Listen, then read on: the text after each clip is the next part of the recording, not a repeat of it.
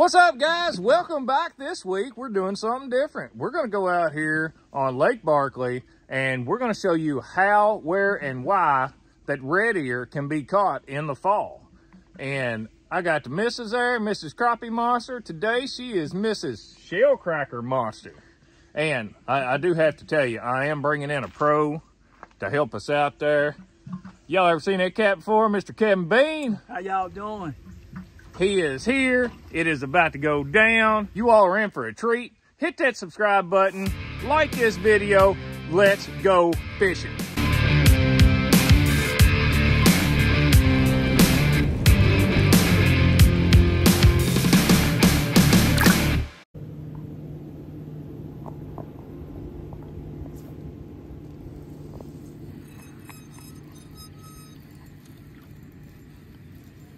Good one.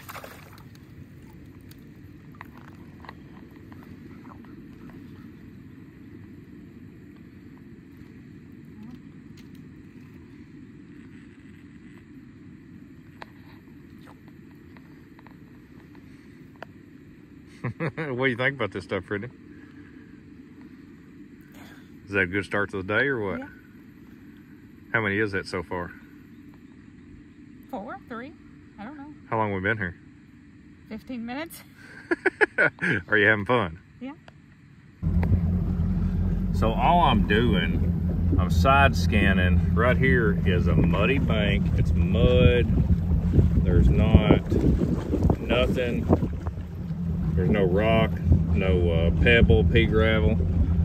And you're just looking for stuff like this right here. And then you can fish way out here on the flat coming into the channel, back up on the bank.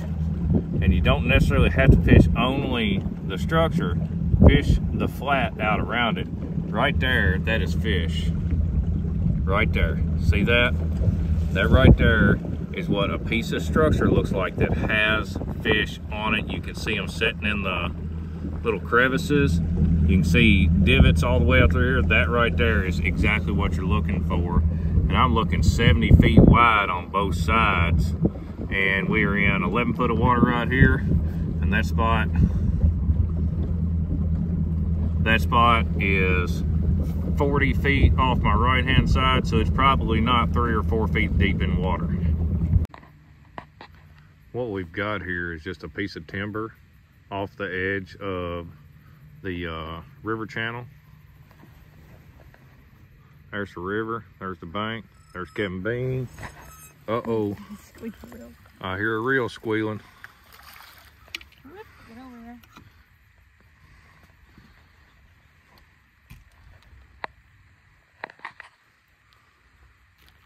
over there. You like red ear fishing, baby? Yeah. You have to get that. Okay, swallowed it. Yep.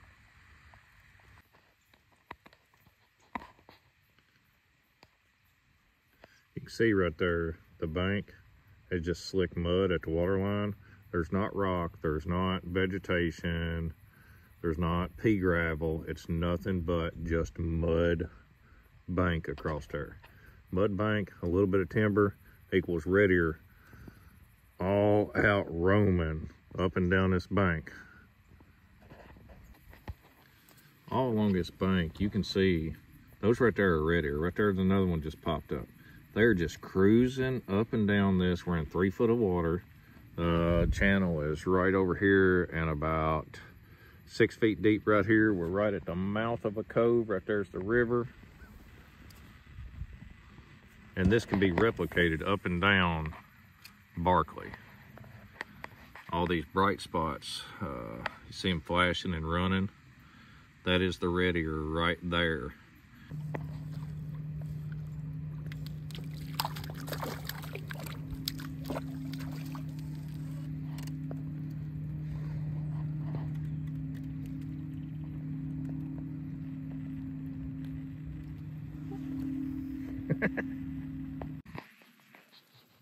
that is the money spot.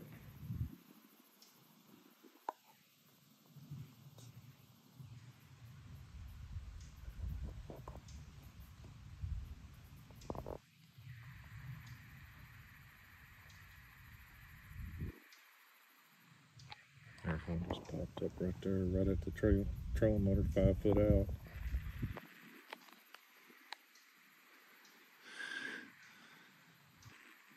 See her, she drug it just a little bit and then dropped it. She's dragging it about a foot and then dropping it. Let it set, then drag and drop. That's the way you trigger the bite and they're just running up and down through here and they may not see it if it's on the bottom.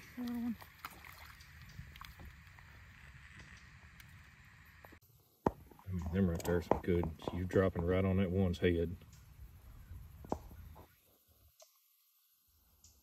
Drag it to us just a little bit. Yep. Perfect. I seen him move a little bit. He's looking at you. Be ready. He's looking. Come on, baby. He's just swimming all over it. It's amazing. I never knew red ear acted like this. Drag it to us just a little bit. Come on. Yep, perfect. Right there in, in his face again. Live scoping red ear. Now you will catch some bluegill when you're doing this. They stay in the same area with the red ear and you just got to weed through them and you find your hot spots and then you move on. You can sit here and grind for a little bit, but once the bites start slowing down, just slide around a little bit, and start fan casting out into the open water.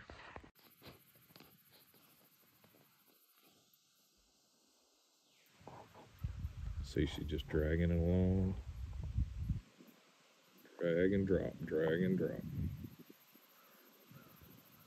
There you go. Dragging about a foot or so and then letting it drop, and all she's doing is making that bait pop up off the ground a little bit, off the bottom, and then set back down, trying to get one's attention. Oh, wow, I don't know what that was.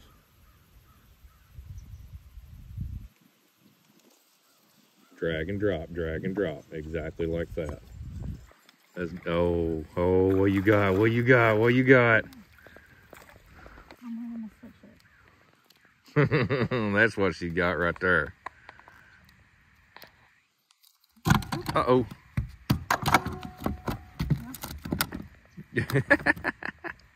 yeah, I ain't gonna help. I'm gonna sit here and record and laugh a little bit they get wadded up down there. They're hard to get hooked up. Oh yeah, she got it under control now. Boss lady, right there, boss lady. See if we can find another little hot spot right there. Oh, she got an, oh, it come loose. Just, there they are coming up off the bottom. See, they are just cruising. And that's what nobody ever believes. They think they got to be stacked up on something. They absolutely do not.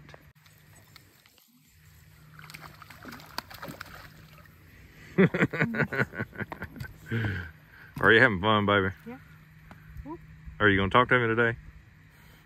Give, give me a little hog call. No. Give me a suey. Come on now. Do it, do it, do it. Nope.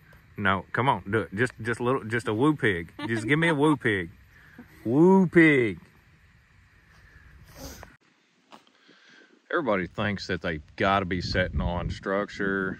They don't have to be just about every fish that we've caught has been away from that structure. We cast to it and then we start dragging, trying to bring our bait just down. Is that a big one? Mm-hmm. Okay. Uh, just down the contour. And that's why we've got our uh, slip bobber set a little bit deep. That way our bait, our weight below the slip bobber can be in contact with the bottom. And then our bait is dangling up here behind it. And just dragging it down that contour, you're stirring up the dirt, you're leaving a scent trail for the red ear to follow, and I can watch them on this live scope, and they will absolutely follow that scent trail from that worm. And we're not freshening up our worm every catch. We're making them eat whatever we're throwing at them because they're biting. Now, if they were being ornery, where they wouldn't bite when the uh, the juice was smushed out of the worm, then we'd freshen it up every single time. But right here, we don't have to. Brittany is smoking them. She is having a ball. I am making a deposit in the marriage bank right now, guys and gals. I mean, this is how you do it. Get them out here, get them fishing, and make them happy. And right now, I believe she is happy. What is that? That is an ugly, ugly little dude. I ain't got a clue what that is. Some sort of bottom feeder. Got his mouth on the bottom. You gonna touch that thing? Mm-hmm. It's kind of nasty. Get it out of my trolling motor. I don't want to touch it. That's a woman right there. It's reaching her to grab that thing. Well, hard to hold on to. Well, I wanted to look at that. You did. Uh. All right, all we did was slid around the bank a little bit, and there is a hot spot right here. Oh, did it come out? There is a major hot spot right here. All these, these are one foot bars on here, and they are foot filling up or past a full one foot bar. And it's 18 foot out. I dropped the power poles to stay down away from them just a little bit. Uh, she's getting bit right now, and it's by a smaller fish, I believe. The current is coming up in this creek, and it keeps on pushing her bobber this way, and she's almost on top of the pile right there. That should be really close right there. Oh, yeah, there she is on screen, so she's right there at them. Let's see if they'll come up and eat it. You can see that I may end up having to, watch your bobber, I might end up having to drop her uh, slip bobber down just a little bit to get it on down in there because right now it's about a foot over the top of them.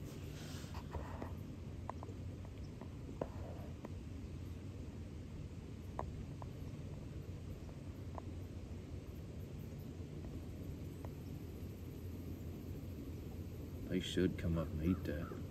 Keep on dragging it to the left. Drag it, yeah, pull to the left and then let it drop. See all those fish moving? That's that bait trail I was talking about. The worm is leaving a scent trail for them to follow, and that is what they were following. I've never saw that before and been able to confirm that that's exactly what it is, but that is what is going on right there. Yeah, quite a few of them right there at 23 feet. You see these fish running around on the bottom. These red ear never stop running on this bottom and they're coming all the way right here to the trolling motor. Uh, power poles are in the water holding a steel right here. So we're just sitting still. We got the live well open because we've been jacking them and just throwing them in the live well. Here's one right here underneath the trolling motor at two feet. Oh my God, look how many red ear are on this thing. This is just absolutely insane, the amount of red ear that are on here. You're right in the strike zone now, Brittany. Drag it a little. There you go. Oh, missed it. Shoo. That is a ton of red ear right there. They're all over the place. There's a stump in there somewheres, and they're just stacked up on it, and they're running now, yesterday when me and Kevin Bean shot this video, these out here were the easier ones to catch, not the ones actually on the stump. Oh, wow, they're lined way up. You pull it to your left, baby.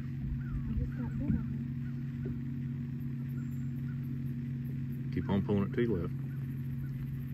There you go. There, you're dropping in the screen. You're right in some right there. You had one follow it down. Yep, oh, look out. Who's getting them earrings now? Okay. She is back in there again. Right there. Oh. All right, drag it a little bit. Drop it.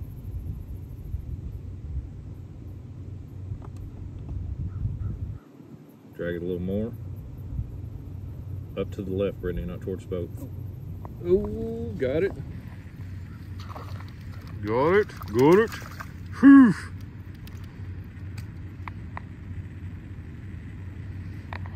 Better watch out for that barge. It's about to get old Kevin Bean back there. There he is.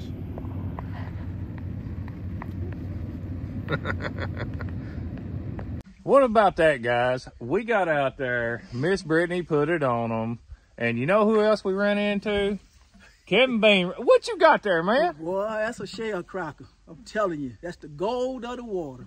Right there. yes, sir. He helped us uh, film a TV show yesterday down here showing people how to catch red ear in the fall. And he flat put us on them. That's on the hook season three. That'll be coming out uh, next spring, uh, probably 1st of March. But for now, we hope you've been able to take something away from this video. We appreciate you. Hit that subscribe button, like this video, and we'll see you next week.